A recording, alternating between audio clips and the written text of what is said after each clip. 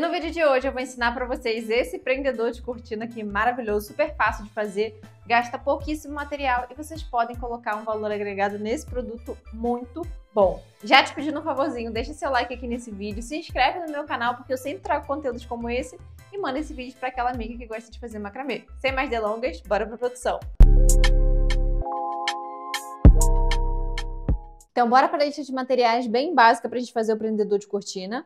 Primeira coisa, o fio. Eu estou utilizando esse fio aqui, que é um cordão de algodão de 12 milímetros, mas vocês podem fazer com fio mais fino. Se quiser, pode até colocar dois fios, porque vocês vão ver que eu vou utilizar somente um fio de 1,20m desse cordão aqui, tá? Então, é um cordão de 12 milímetros. Alfinete para te ajudar na produção. Tesoura e fita métrica, básico da artesã. Fio de juta, esse aqui é o fio de juta da Euroroma. Eu utilizei somente para fazer detalhes aqui, olha. Mas vocês podem utilizar barbante, qualquer outro tipo de fio que vocês desejarem. Cola de silicone, para a gente fazer os acabamentos. E é isso, um material bem basicão, tá? Quem não tiver o alfinete com essa placa aqui que se chama macramê board, essa placa aqui que vende na Nubis, pode utilizar um pedaço de fita crepe para prender né, o seu fio para você conseguir fazer o seu nó. Mas é isso, bora para produção. Então vamos lá, estou aqui com o meu fio de 1,20m. Olha, esse fio tem 1,20m. Vou colocar ele dobrado ao meio unir ponta com ponta, ó. Dobrei o meio e vou colocar aqui. Agora a gente vai fazer esse nó aqui, tá? Então, como que a gente vai fazer isso? Temos dois lados aqui desse fio grandão, o lado da esquerda e o lado da direita. O lado da esquerda, ele vai fazer uma volta por cima do meu lado da, da direita, e essa volta, ele vem aqui, ó, por cima dele mesmo, ó voltando realmente lá para a esquerda, tá? Perfeito. Agora, esse fio aqui da direita, ele vai fazer uma passagem de fios. Primeiro, ele vai passar aqui por cima, depois ele vai passar por baixo desse aqui e vai sair aqui nesse espaço. Saindo aqui nesse espaço, ele vai passar por cima desse aqui, por baixo desse e vai sair aqui na frente, por dentro desse espacinho. Então, é uma passagem de fios, ó, por cima, por baixo, sai aqui, passa por cima, vem por baixo, sai aqui.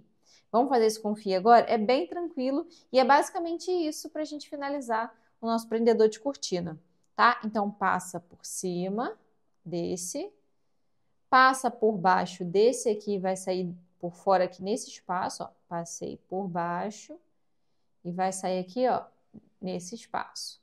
Agora, o que, que ele faz? Passa por cima desse por baixo desse e vai sair aqui nessa volta. É isso. Vocês podem desacelerar o vídeo para ver novamente, tem que ficar com esse aspecto aqui. Agora, como que a gente vai puxar? Aqui é o meio. Vocês vão puxando primeiro o fio da esquerda e vai vendo por onde ele está. Eu puxei aqui o da esquerda. Qual é o da esquerda? É esse aqui. Então, vai puxando ele, vai ajeitando. Ele está passando por aqui, ó, vai ajeitando Lembra que aqui é o meio. Ajeitei o da esquerda. Vamos ajeitar um pouquinho o da direita. Da direita é esse aqui, o lado. Puxa aqui. Ó, esse fio aqui. Então, ó, ele tá passando aqui. Ajeitando assim, vocês não vão ter nenhum problema, vai conseguir. Agora, por onde ele sai? Aqui. Aí você puxa para conseguir arrumar. Olha, já tomou um rumo. Agora vamos tirar do alfinete e vai dando mais uma ajustada. Ó, o fio da direita, ele ainda tá um pouquinho largo aqui, tá vendo que é esse aqui, ó. Aí vem, puxa ele aqui e puxa ele aqui. Já tá ganhando forma, agora mais um pouquinho de ajuste. E como é para ser um prendedor de cortina, mantém do mesmo jeito o, o formato do nó do outro que você vai colocar junto com a cortina. Tá vendo que aqui os nós estão mais fechadinhos? Aí você vai ter que fechar um pouquinho mais esse daqui. Então, continua puxando os fios, tá com muito espaçamento ainda. Ó, vai dando uma puxada, ajeita aqui, ajeita aqui. Ó, agora já deu um jeito. Olha lá, agora tá do mesmo tamanho. Quer dizer, só mais um pouquinho. Deixa eu ver aqui onde que eu preciso puxar. Hum. Esse aqui, só mais um pouquinho. O da esquerda, da direita. Um pouquinho de cada, da esquerda e da direita. Pronto. Agora sim, tá? E agora o que a gente vai fazer? Vai medir aqui se está praticamente no mesmo tamanho. Só um pedacinho de diferença, a gente corta aqui para ficar do mesmo tamanho, os dois lados ficarem iguais. Aqui um lado e aqui um outro detalhe. E agora a gente vai pegar dois fios de 40 centímetros de fio de juta, tá? De fio de juta. Então, eu vou pegar aqui um dos lados, vou pegar o meu fio de juta, vou colocar aqui por cima, mas eu não vou colocar é, lá em cima assim para ficar aparecendo essa ponta aqui não. Vai ser um pouquinho mais para baixo porque a gente vai cortar aqui uma napa, tá? Mas coisa pouca. Deixei uma pontinha para o alto. Com o outro lado do fio que está grandão, a gente vai fazer outra voltinha. É como se a gente tivesse encostado o fio assim, ó, aqui. Ó, e tem que deixar essa pontinha aqui pro alto para a gente poder puxar quando terminar. Agora ficou assim, com uma volta aqui e com o fio pro alto. Com esse outro lado do fio, nós vamos enrolar para poder fazer esse acabamento aqui. enrola bonitinho até acabar esse fio. Ó, acabou aqui. Aí, o que, que eu vou fazer? Ó, so, teve essa sobra. E lembra da voltinha que a gente deixou lá no início? Nós vamos passar o fio aqui por dentro, desse jeito. E esse aqui que a gente deixou também lá no início, a gente vai puxar. Pronto. Agora, corta todo mundo. Ó, esse aqui do sisal pode até cortar junto.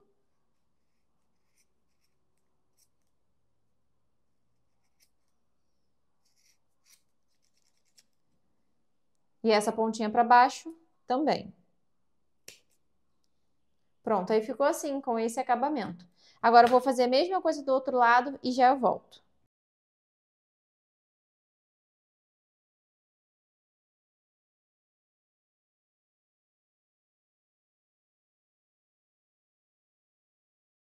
E agora aqui nas pontas a gente vai passar uma cola de silicone eu estou fazendo aqui com fio de juta, a cola de silicone não tem, essa aqui é da Tech Bond, não tem problema passar aqui na juta, mas caso você faça esse acabamento aqui com nó escondido com outro tipo de fio, principalmente fios de cor escura, essa cola dá uma escurecida no fio, tá? Aqui como é juta não tem problema, mas normalmente quando é um fio colorido, por exemplo, um barbante na cor verde musgo, um barbante na cor bordô, preto, tudo isso mancha, tá? Ó, só um pinguinho só para segurar aqui embaixo e aqui no outro também. Mas é isso, um prendedor de cortina super tranquilo, super fácil, que fica muito bonito. Aqui nessa ponta vocês podem colocar uma conta de madeira também, fazer um nozinho que também vai ficar maravilhoso. Então, é isso. Espero que vocês tenham gostado de aprender esse prendedor de cortina aqui maravilhoso. Olha, só uma coisa, esse aqui ficou menor porque eu coloquei um tamanho de fio menor, eu estava fazendo um teste. E esse aqui menor ainda, eu fiz um detalhe, né, uma decoração que a gente pode colocar em outros lugares, mas esse fio aqui tem 1,20m e ele tem 12 milímetros, tá? Quem quiser pode fazer com fio mais fino. Quando, se você for fazer com fio mais fino, aconselho a colocar mais fios. Por exemplo, aqui eu precisei de um fio só, né? Se você fizer com fio mais fino, você pode colocar dois fios ao invés de um só. E aí você vai trabalhar com dois fios aqui nessa passagem para fazer esse nó, tá bom? Mas é isso, espero que vocês tenham gostado. Se gostou, já deixa seu like e se inscreve aqui no canal, porque eu sempre trago conteúdos como esse. Um beijo, até mais!